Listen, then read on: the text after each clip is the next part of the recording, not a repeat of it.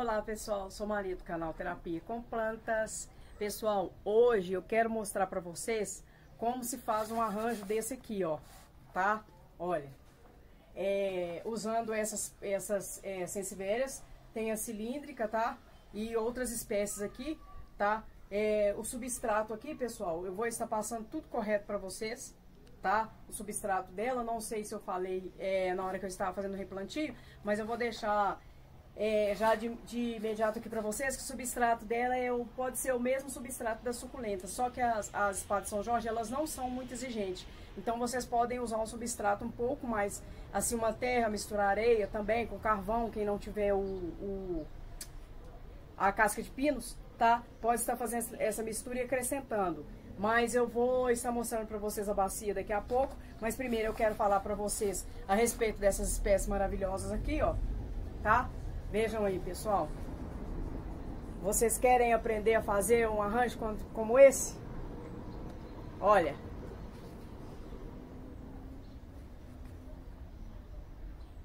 Maravilhoso, né, pessoal? Lindo, né? Então, ó, bora lá pro vídeo, pessoal. Então, é, eu queria falar para vocês a respeito um pouco da característica dessas plantas, tá? A sensivéria, pessoal, ela é uma planta rizomatosa, tá? É, porém, às vezes, subterrâneo. Às vezes, sim, eles ficam, esses rizomos é, vêm para superfície, eles ficam aéreos, tá? É uma planta de origem africana, tá? É, a floração dela não tem valor ornamental. O que tem valor nela é a folhagem mesmo, a beleza das folhas, tá? A flor dela tem um perfume muito bom também. A poda dela, vamos falar da poda. Essa planta ela não requer poda, mas porém requer uma limpeza, tá? Quando haver folha muito seca, muito queimada, principalmente se cultivada ao sol, tá? Fazer remoção dessas folhas. Então a poda de limpeza.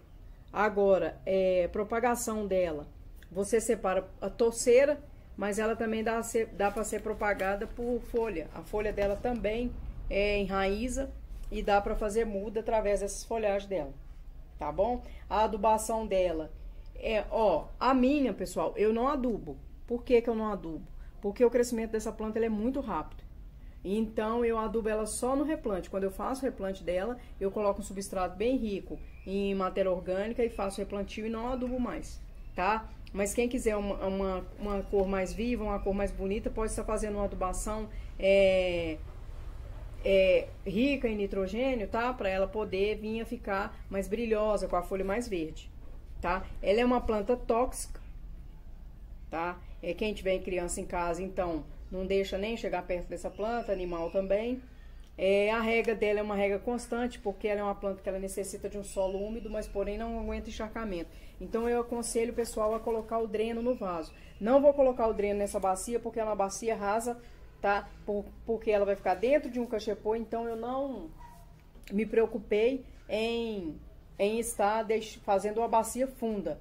E pelo fato das, das sensivérias, as espadas São Jorge, ela ser uma, uma planta pra, é, de fácil cultivo, então eu não, não, não, vou, não vou preocupar muito em estar deixando ela sempre nesse vaso. Sempre eu vou estar fazendo nessa bacia. Sempre eu vou estar fazendo o replante dela, tá? É uma dica que eu quero deixar para vocês. Quando vocês fizerem essas bacias, pessoal, é, essas bacias, elas têm que ter é, manutenção constante. O que é uma manutenção constante? é, retirar a brotação em excesso, retirar as folhas em excesso, para a bacia ela estar sempre com aspecto bonito. Olha a Chantal passando em cima das plantas. Para ela estar sempre com aspecto bonito, tá? Porque senão a planta vai é, encher o vaso todo, vai tomar conta do vaso todo, a raiz dela vai sufocar uma outra, a planta não vai, não vai é, desenvolver. Então é bobeira é, cultivar uma planta no vaso tão cheio que você não possa ter, é, ter tempo de dar uma manutenção nessa planta. As, as, as, as espadas São Jorge, elas são uma planta de pouca manutenção, então acredito que quem montar um arranjo igual esse, o único problema que vai ter é com essa manutenção constante pelo fato da, de estar tá, é, de juntar demais, de dar muita brotação e ficar tudo aquelas brotação, uma é, impedindo a outra de sair. Então eu aconselho a pessoa que, que montar uma bacia dessa, dar uma manutenção constante, arrancando a brotação, ou que tira a brotação mais, ou que tira o, o, a planta velha e deixa a brotação nova, ou tira as brotação nova e passa para um outro vaso, tá? Para ela ficar uma bacia sempre bonita, tá? Aí eu vou começar o replantio aqui para vocês. É, espero que não tenha ficado dúvida. Que tiver alguma dúvida, deixa lá nos comentários que eu terei o maior prazer em responder, tá? É, mas eu vou montar uma bacia. Aqui, essa bacia minha, ela vai pegar o sol da manhã, tá? As sensiveiras, eu já falei, elas podem tanto ser cultivadas no sol, mas elas são excelentes para ficar dentro de casa. É uma das plantas excelentes para purificar o ar, tá? Existem pessoas que têm a crença de que ela é, retira mal olhado, é, Existem várias crenças a respeito dela, mas eu, é, para purificar o ar, ela é uma excelente espécie para deixar dentro de casa. Ela vai embelezar se você plantar ela num vaso bonito, colocar no canto de uma sala, em cima de uma mesa, tá? Tanto essas gigantes quanto essas pequenas ali, ó. A bacia não é muito grande, a bacia é uma bacia rasa, mas eu vou montar um arranjo bonitinho e vou trazer para vocês. Primeiro eu vou colocar o substrato na bacia e vou trazer ela para vocês para estar montando o vaso. Aí, pessoal, foi colocado o substrato. Eu deixei uma bordazinha ali para mim acabar de completar. Aí vou começar com as espécies grandes, é, vai ficar um degradê de trás, vou começar o replantio de trás para frente, tá? Aí à medida que eu for replantando, eu vou trazendo e mostrando para vocês. Então, pessoal, aqui, ó, vocês começam o replantio com as maiores atrás para dar um efeito bonito, um efeito bacana, tá? Aqui, ó, já plantei as maiores. E aí agora, a frente, vocês vêm brincando com ela aqui, com as menores, tá? Que são as, as espadinhas variegata, tá? E eu peguei essa muda aqui, ó, de abacaxi roxo, que eu vou colocar ele aqui pra dar um colorido nela. E, e trouxe um cedo também, o cedo maquinói, porque o lugar que ela vai ficar, ela vai pegar uma quantidade de sol que vai dar pra esse cedo desenvolver. Porque eu não gosto muito de pedra. Eu vou colocar algumas pedras só para dar um, um, um colorido ali, um branco. Mas eu vou, vou, dar, vou dar preferência pro cedo, tá? Aí eu vou acabar aqui de completar tudo e volto já com vocês com a bacia pronta. Pessoal, ficou pronta a minha bacia, tá? Espero que vocês tenham gostado. Olha aí que linda que ficou, tá? É... Olha que maravilha que ficou. Espero que vocês tenham gostado. Agora ela vai para aquele solzinho da manhã que eu falei com vocês. Ela vai ficar em cima de uma sinuca que tem lá no meu terraço. Coloquei umas pedrinhas aqui atrás. Ah, pessoal, uma dica para vocês deixarem essas, essa sensivéria maior é, em pé. É, vocês vão apoiando pedra nela. Vai colocando pedra, tá? Que aí ela fica, vai, na, na hora, no replantio, quando estiver replantando vocês é, vai, vão colocando pedra, porque aí as pedras é, vão apoiar mais o pé dela, a base dela, a raiz dela. Aí elas ficam é, mais seguras, tá? Pode colocar na pedra e fazendo uma fricção um pouquinho para baixo. Olha aí, pessoal, que mimo que ficou. Eu gostei. Eu achei que ficou lindo. Agora ela vai ficar na mesa, se vocês quiserem fazer, olha para vocês verem, uma bacia dessa para ficar em cima de uma mesa, pode fazer ela em cimento. Aí só que se vocês fizerem fizer ela em cimento, aí vocês é, aumentam a rega, principalmente se morar num, num estado muito quente, tá, pessoal? Aí vocês aumentam é, é, um pouco a rega dela, tá? Porque aí vai puxar a umidade é, mais rápido. Como ela está na bacia de plástico aqui, eu vou estar fazendo essa rega dela é, todos os dias, porque ela vai ficar no sol e, e o, a bacia é pequena, então esse substrato vai secar muito rápido, tá? Aí, ó, espero que vocês tenham gostado, ó. Agora ela vai pro cachepô. Aqui tem umas umas espécies diferentes, eu coloquei espécie diferenciada para, para dar esse essa estética bonita que deu aí, ó.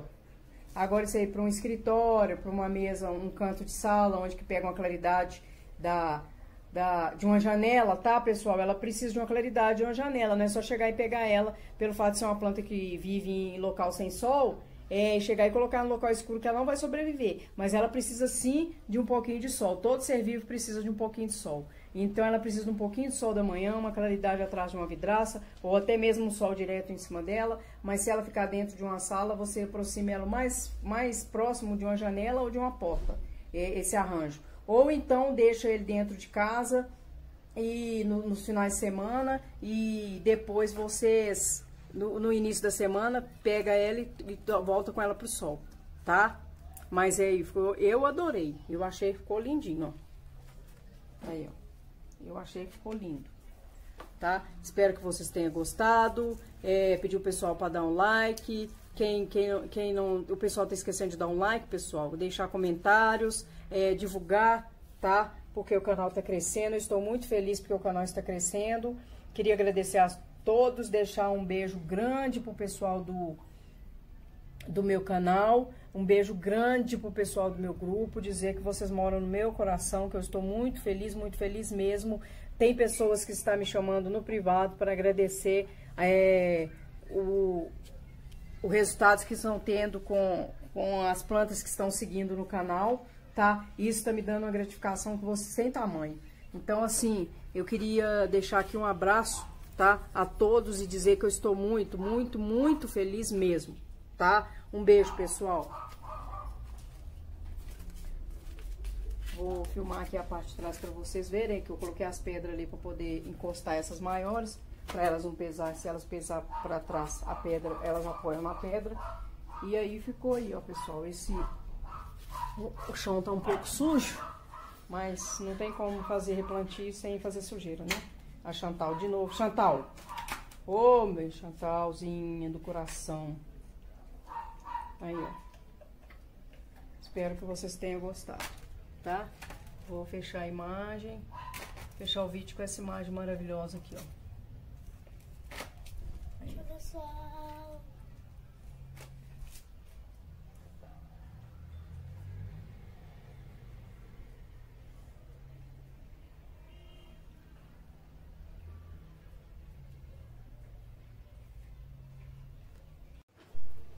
Pessoal, agora eu vou fazer um vídeo aqui é, gravando ela com a decoração.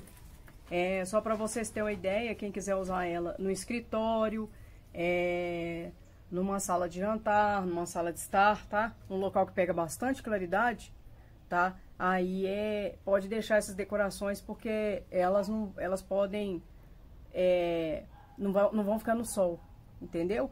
Aí pode estar colocando essas decorações aqui bonitinha, tá? Foi a Neia que mandou pra mim, né? Um abraço. Estou muito feliz mesmo com essas belezurinhas que você mandou. Olha que mimo, pessoal. Olha ali. Olha essa garça, pessoal. Eu amo garça. Eu amo, amo garça. Olha que linda essa garça. Aí eu queria mostrar pra vocês ela. Olha aí, ó. Como que ela ficou com a decoração, tá? Quem quiser fazer uma assim, pode fazer, porque ela ficou maravilhosa, tá? Olha. E não vai arrepender. E ela ficou super leve, tá, pessoal? Por conta do substrato. Aí eu peço a vocês, quem montar uma bacia dessa, se for ficar manuseando ela, é, carregando ela pra lá e pra cá, que usa o substrato leve, tá? Pra não ficar pegando peso ou para não conseguir tirar a bacia do lugar. E o mais, o mais adequado, pode fazer ela na bacia de cimento, mas é para ficar manuseando ela, eu aconselho que a pessoa venha fazer uma bacia de plástico e colocar dentro do cachapô. Igual eu fiz aí, que vai ficar muito bonito. Aí a bacia fica leve, você consegue carregar ela para onde quiser e manusear ela na hora da, da manutenção, porque ela vai precisar de uma manutenção, tá? Olha aí que lindo que ficou. Eu adorei.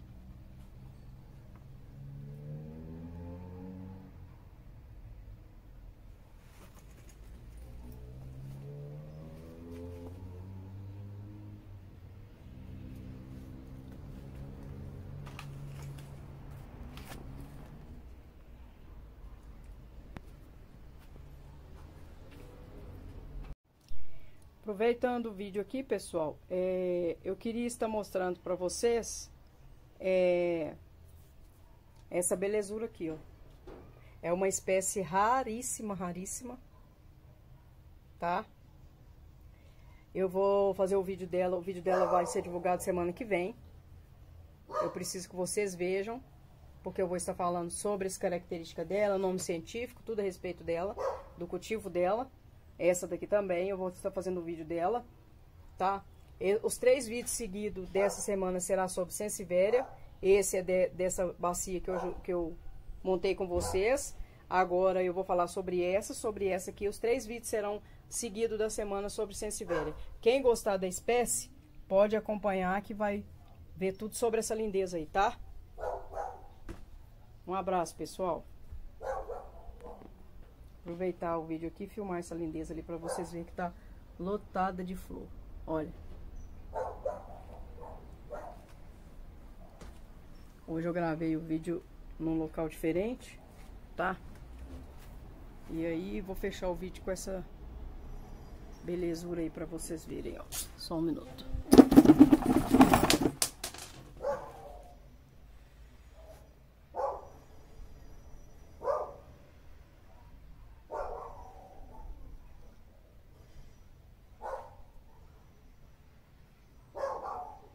Espero que vocês tenham gostado.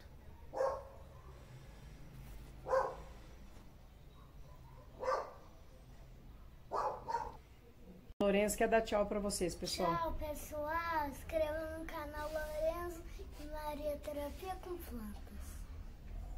Um beijo a todos, pessoal. Um beijo a todos. Até o próximo vídeo. Até o próximo vídeo. Deixe muito likes.